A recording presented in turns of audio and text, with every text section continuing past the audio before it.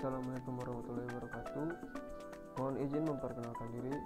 Nama saya Raden Muhammad Wahyudi Saputra. Saya dari kelas Nautika 3 Delta.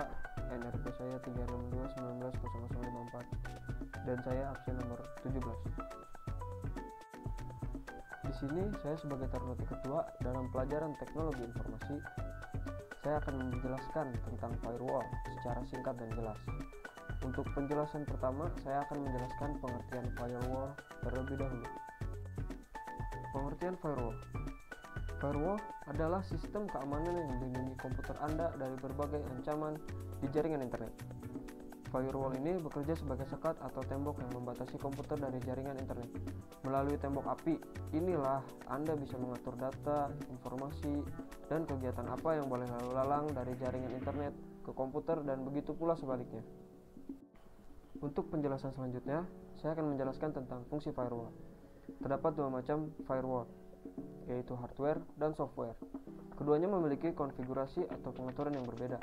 Meski begitu, keduanya tetap memiliki fungsi utama yang sama, yaitu untuk melindungi keamanan jaringan. Untuk penjelasan yang ketiga, saya akan menjelaskan cara kerja firewall. Firewall berbasis hardware merupakan piranti keras yang terdapat dalam sistem jaringan. Misalnya router, Firewall macam ini memerlukan konfigurasi untuk dapat bekerja secara efektif.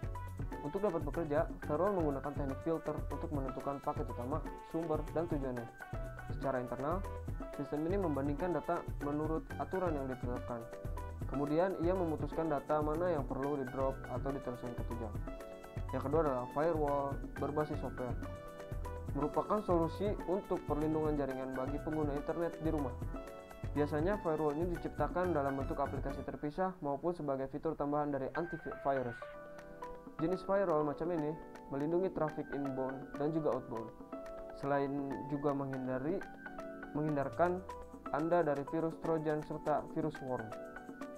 Untuk penjelasan keempat, saya akan menjelaskan tentang manfaat firewall. Apa manfaat firewall? Alasan keamanan tentunya jadi sebab utama untuk menggunakan firewall.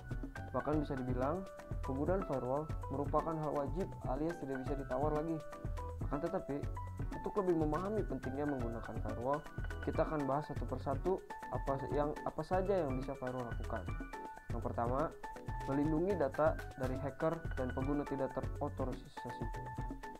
Seperti yang sudah dibilang di atas, firewall berfungsi layaknya sekat antara data internal dengan akses luar. Yang kedua, blok pesan yang tidak diinginkan. Anda mendapat pesan misterius yang mengatakan komputer Anda dalam bahaya. Yang ketiga, blok konten yang tak diinginkan. Selain memblokir pesan spam dan mengandung virus, firewall juga dapat digunakan untuk memblok website atau konten dari alamat yang spesifik. Yang keempat, membuat game online lebih aman dan nyaman.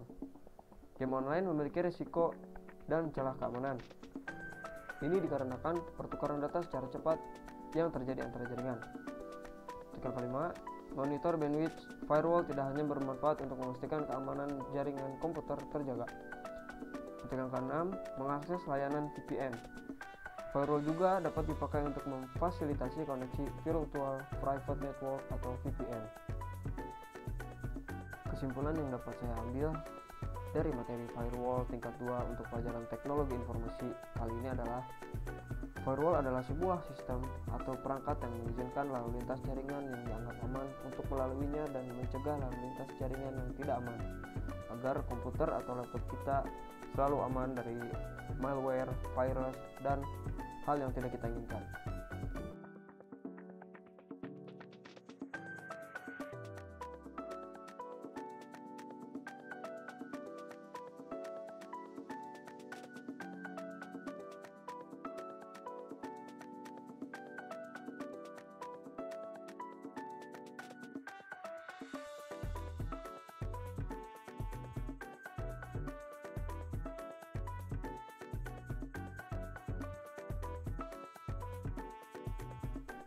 Sekian penjelasan yang dapat saya sampaikan. Mohon izin untuk dimaafkan untuk kata-kata yang salah atau yang kurang berkenan. Saya Raden dari Nautika 3 Delta. Mohon izin undur diri. Terima kasih atas perhatiannya. Wassalamualaikum warahmatullahi wabarakatuh.